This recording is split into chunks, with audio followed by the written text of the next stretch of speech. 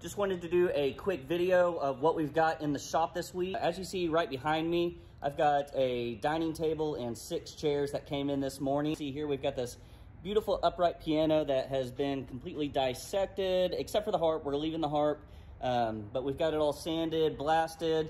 Um, we just got a little bit of repair work left to do on that before um, we are ready to paint it and clear coat it. And then in the spray booth, uh, um, this is a beautiful buffet that a uh, customer brought in. It's had a complete um, refinish restoration job uh, going on with it. So we're really excited to get that toned and out of here. I may work on these industrial windows, getting the glass in there. We got those cleaned up. Um, and then I've also got the piano keys that came out of our upright and I'm hoping to do maybe a coffee table out of that. Stay tuned if you wanna see any of these projects this week. We'll try to get them all completed and um, progress posted on them hopefully by the end of the week. So stay tuned if you wanna see that.